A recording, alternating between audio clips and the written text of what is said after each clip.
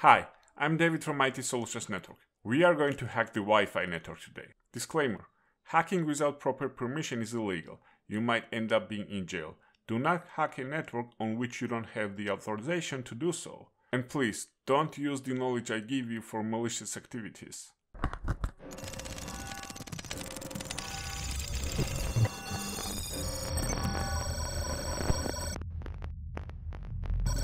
To hack a Wi-Fi network, I'm going to use a microcomputer Raspberry Pi 4 running Kali Linux and the Wi-Fi adapter from Alpha with Atheros chipset AR9271, which is most compatible Wi-Fi adapter for Kali Linux. We use an external adapter because it needs to have the support of monitoring and packet injection, and the Raspberry Pi integrated Wi-Fi adapter doesn't support this. If you are interested in installing Kali Linux on your Windows computer, I recorded a video on how to install Kali Linux in VMware on Windows 10. I also have a video on how to install Linux on a Raspberry Pi.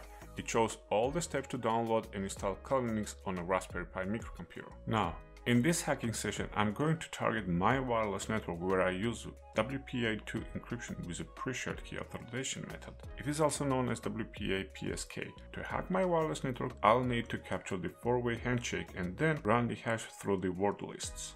Okay, let's start we need to make sure the Kali Linux recognize our external Wi-Fi adapter. Let's see what network adapters we have on Raspberry Pi and then connect our external adapter. We have Ethernet 0 adapter and we have our onboard Wi-Fi adapter WLAN 0. Now let's plug our external adapter. And if I repeat the command, now you see we have WLAN 1. Next, we are going to terminate processes that might interfere with the AirCrack NG suite we use in this tutorial.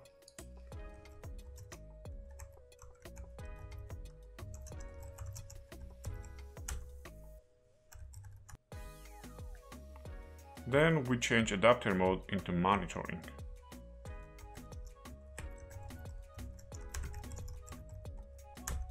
Let's confirm the monitoring mode by executing command iwconfig Okay, our Wi-Fi adapter is in monitoring mode and we can start scanning the around wireless networks.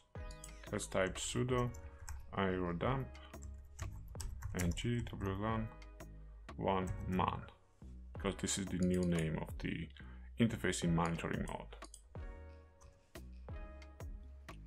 Here, we need to pick the network we are going to attack. I'm running a dedicated Wi-Fi network for this tutorial, so we are going to pick that one. My SSID is lab SSID for tutorials.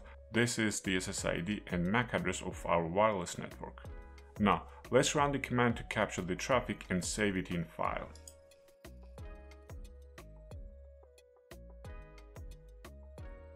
Okay, so we are saving it in a file captured, we are saying that we need to scan the capture the traffic on the channel 1 and with this MAC address of the access point from this interface. Okay, let's run it. Now, we are capturing traffic and now we need to catch the moment of a client joining to a Wi-Fi network so that we can capture the handshake. We have two options. We can wait for someone to join the network or we can forcibly disconnect clients from the network and capture the handshake when they join back. Let's not wait and disconnect everyone from the network.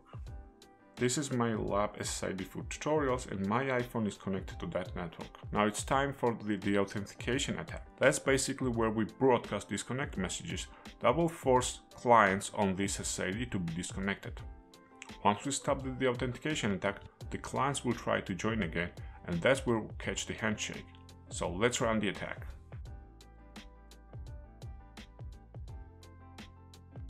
Okay, we are ready to hit enter and watch on my phone, it will disconnect the Wi-Fi network. You see what happened? So we've disconnected from the network and now the iPhone is trying to connect again and as you can see we captured the WPA handshake. Okay, now this handshake is in our file. This is what we wanted to catch. Now we can run through the words list and find the key if that key is there.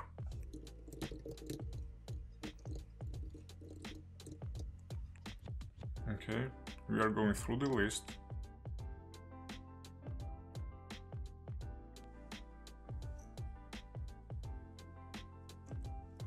And here's our key. We found it. It took like nearly 2 minutes to find this key, but uh, yeah, this is how you hack the Wi-Fi network.